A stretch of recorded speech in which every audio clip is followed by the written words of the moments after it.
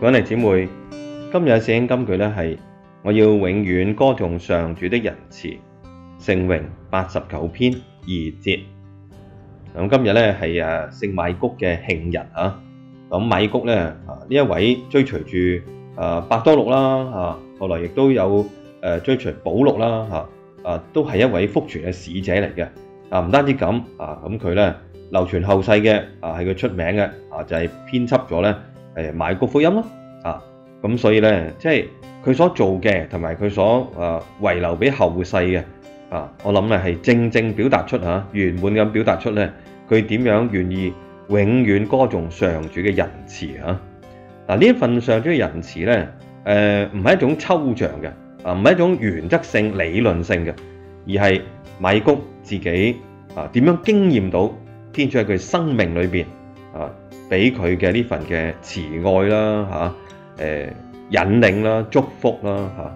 或者表現喺啊一啲誒、天主為佢解決咗啲問題、一啲困難啦，啊好似我哋咁啦，係嘛啊？我哋點樣經驗天主嘅仁慈咧？啊咁可能咧都會嘅喎，啊天主都會誒、顯奇蹟啦，係嘛啊？或者一啲我哋咧普通人咧視之為偶然嘅嘢嚇，咁、但係我哋咧體會到啊係天主幫咗自己啊，能夠咧完成咗某啲事啦嚇啊，幫助我哋咧解決到啲困難啦。啊不過到最後尾，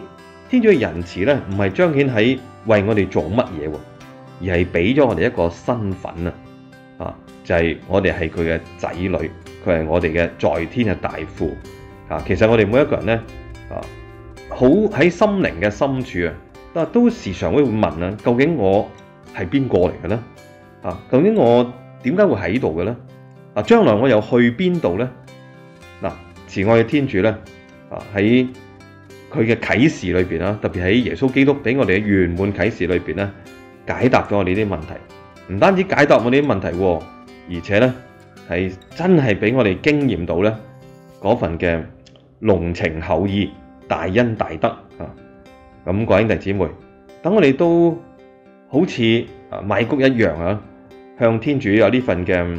應許啊，有呢份承諾啊，我要永遠歌頌上主嘅仁慈啊！唔係一時三刻，而係時時刻刻啊！唔單止用我嘅誒、呃歌詠啦，啊誒讚美啦，啊誒、而且咧都用我嘅生命啊！各位弟兄姊妹，今日咁等我哋喺接觸其他人嘅時候，點樣都表達出呢份我哋嚟自上主對我哋嘅仁慈，因而我有份喜樂，有份平安啊，都份勇氣可以為佢作見證咧。使人都會分享到，都會體會到，我哋每一個人都係佢所愛嘅仔女呢。我要永遠歌頌上主的仁慈，聖詠八十九篇二節。